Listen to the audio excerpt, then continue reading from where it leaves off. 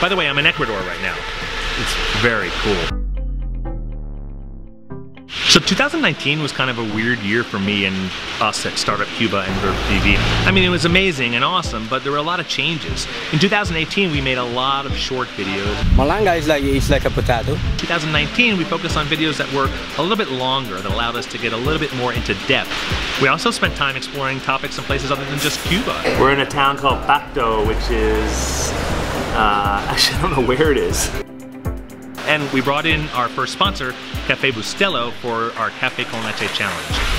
So now with 2020 upon us, we're gonna do both. Longer, more in-depth videos and shorter, shaky camera kind of videos that just show you what's happening. The camera crew. We want to highlight the beauty in Latin America and cover issues such as climate change, such as entrepreneurship in Cuba. I don't want to be here alone in case there's a puma.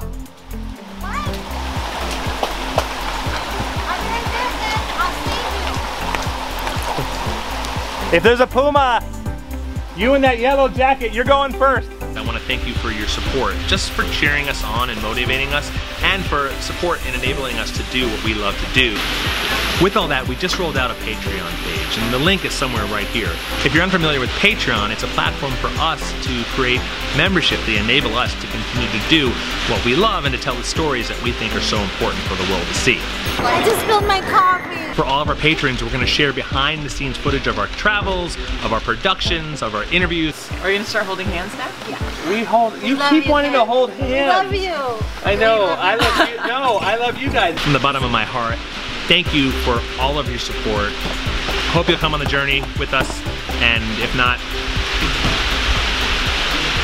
everyone gets pesos around here.